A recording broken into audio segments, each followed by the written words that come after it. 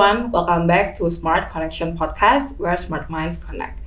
I'm Patricia, and today we're going to talk about an exciting topics the importance of data security in contact center. And I'm not alone. Joining me today, William, as IT security and compliance specialist at KPSG. Hello, William. How are you doing today? I'm good. How are you? I'm doing great too. So, you've been studying and working in data security, right? Yes. Okay, and recently we've been hearing a lot of issues or cases regarding customer data, especially from well-known organization in Indonesia. So how can we keep customer data safe?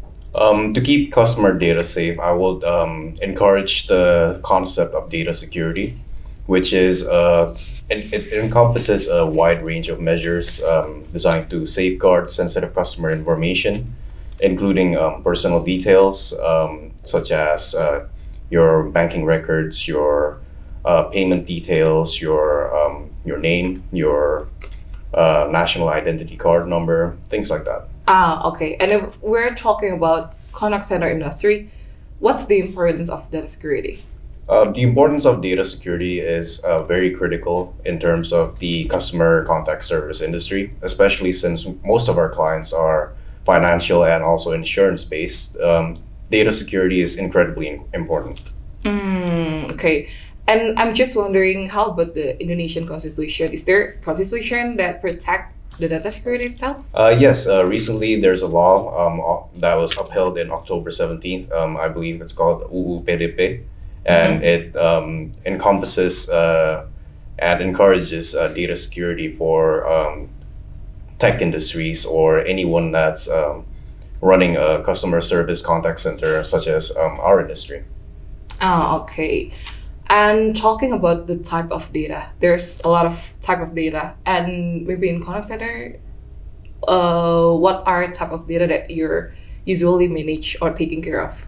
Um, usually in contact centers, especially in the um, financial industry and the insurance industry, there's usually um, important and critical details belonging to the customer, such as their payment methods, their um, insurance policies for the insurance industry, uh, maybe their um, banking records or bank statements for the financial industry, uh, maybe their personal details, such as their family members that's connected to their insurance policy, or perhaps um, their very own um, identification number for their KTP or maybe their passport numbers there as well. So those are the types of data that will be very critical and will be horrible if it were to leak out. So, what are the threats or challenges of the security in contact center?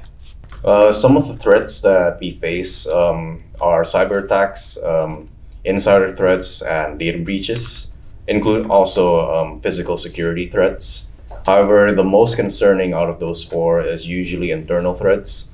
Um, it's easy to put up safeguards for um, cyber attacks or um, incoming um, or well-known attack um, patterns. Mhm. However, it's much more difficult to uh, keep track of insider threats since people are um, people who are usually the biggest threats are usually those who are um, who knows the system well, who's been inside, who knows how how how the safeguards fa- functions, how um, what preventive measures they have in place, and also how exactly to get around those.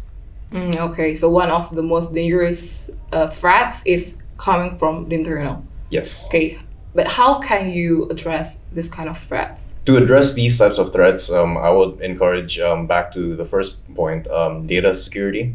Um, Mhm. data security it encompasses a wide range of practices, and one of those things include um, keeping um, keeping track of um, insider threats and how um, how insiders within the corporation are able to access um, certain sensitive files or information.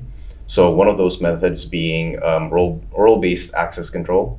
Um, depending on what role you have, Mhm. um, they'll be granted certain permissions. However, not too much um, permission that they can go anywhere that they want. Mm, okay, but what kind of efforts that are example that uh, your company KPSG has implemented this far? Um, some of the efforts that we've implemented so far is um, um, role-based access control. Mhm. Um, this is a it's a feature in our um, cloud systems um, that enables or prevents people who lack um, proper clearance to access sensitive data or um, go where they please. And this prevents a lot of um, sensitive data being accessed by people who lacks access. Mm, okay. And in contact center, uh, maybe there's a lot of people talking about cloud Mhm. or on premise. They maybe they comparing each other between cloud and on premise. Which one is secure? Maybe you can sh- share some of your opinions regarding this. Um, in regards to that question, it really depends on.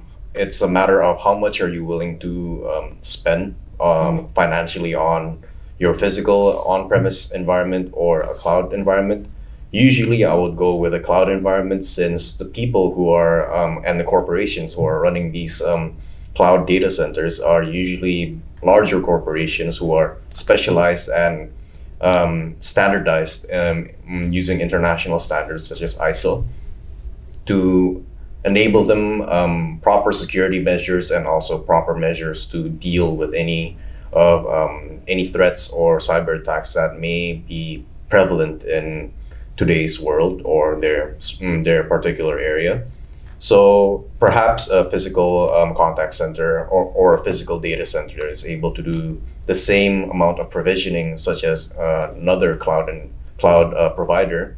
However, um, you have to keep in mind that the players that you're um, going up against who provide these cloud data centers are people like Amazon, Microsoft, uh, Tencent, and Alibaba with their Alibaba Cloud. Mm, okay, so you mentioned about certification like ISO for a company. And for personal, maybe like you, the IT security and compliance specialist, is there any certification that you should take? Um, there are plenty of um, certifications that you can take. Um, for an organization, I would Mm. recommend that they comply with the international standards since um, their standards are well kept and well maintained and usually updated within a couple of years. Uh, for example, KPSG right now is certified for ISO um, 27001, um, the 2022 version. And for personal, um, I would suggest that you take a certification on your cloud platform to make sure that you understand the features and functions that you're able to do and what kind of um, security measures you can implement for your environment. Mm, okay. So if we're talking about the best practice, uh, what are the best practices to ensure the data security? Um, the best practices would be um, role based access control. That's um, Mm. number one, I think. Um, second would be data in, uh, encryption to make sure that the data that you're uh, that you gather from your customers are well encrypted and aren't easily um, accessed or stolen um, if they do get broken in. Um, also, regular audits um, and monitoring of your um, sensitive data or environments to make sure that people who no longer work at the corporation aren't able to easily access the environment um, from outside the organization and to monitor just to make sure that um, e- every environment is behaving as um, as as predicted and there's nothing uh, nothing unusual going on within those environments. And finally um, I think another critical im- important point would be employee employee training to make sure that um, employees who aren't um, within the um, tech sector are able to understand what types of threats there are and um, what types of um, traps there are that maybe may lead to a data breach for your organization. Mm, okay. And in KPSG, I just wondering, do you guys has like a plan for a future improvement in data? Um, for future improvement, uh, currently we're focusing more on encryption and also we're keeping track of um, case studies and also in, um, any recent cyber attack news um, within our um, neighbor within our location of Asia, Southeast Asia, and we're keeping um, keeping in mind of what kind of threats um, are the most common and also which ones are the most dangerous that we should prepare for.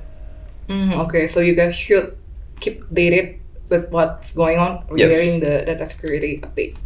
Okay, and are there any case studies that you can share regarding the data security?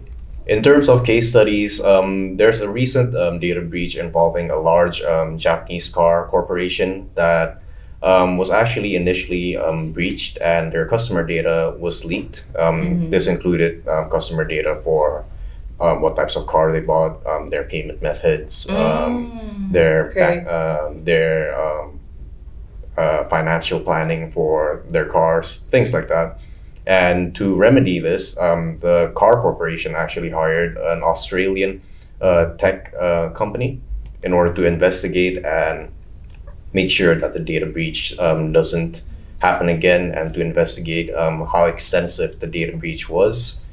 However, um, as it turns out, the data breachers also data breached the uh, Australian tech company, leading to uh, leading to all of the Australian um, tech companies' uh, clients to also be leaked out, which included local governments and other private corporations in Australia.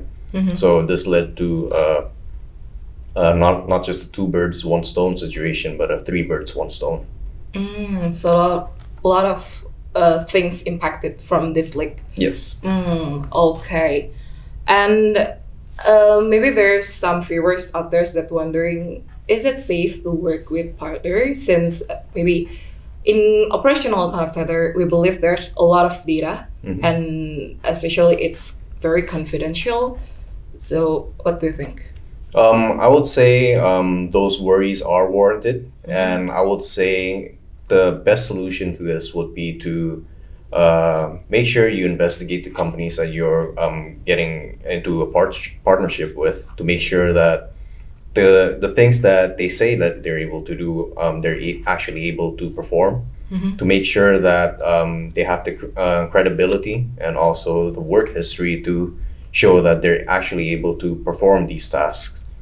Ah, okay, so the company must do the research, and if they already got the what we say the most uh, trusted partners, they can surely work with the partners and ensure the data security. Yes. Okay, maybe that's all for today's session. So we can know there's a lot of impact and things uh, that is important to be known by the company out there.